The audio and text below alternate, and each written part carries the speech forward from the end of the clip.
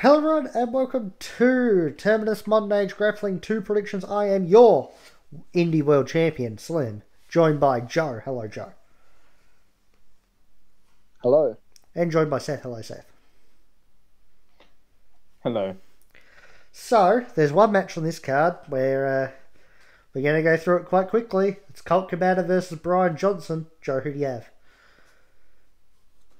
Um, I'll go for Cabana. Cabana, Seth, Colt. Colt. Yeah, I I think Colt's going to win as well. There's nothing to it. I just think Colt's going to win. Um, I could see Brian winning just based on the fact that the last Modern Age Grappling, this whole match come into it because he he had a go at Colt after his match. So maybe he might win because he could be a big heel in the company. But I'm going to go with Colt.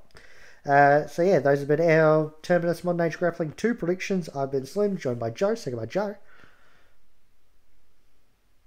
See ya. and joined by Seth, second by Seth. See ya. Like, share, subscribe to the channel, hit notification bell, follow the Facebook, Twitter, and Twitch. Links those are in the description.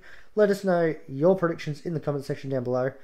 And uh, oh, also Seth, you have a Twitch schedule or something, do you? Yes. What is it? Uh, Monday, Wednesday, Friday. Times? I don't know the times. Just I don't know. After lunch. Okay, well, uh, just keep an eye on the Twitch then, and you'll see when he's uh, when he's streaming. But yeah, other than that, thanks for watching. Goodbye good night.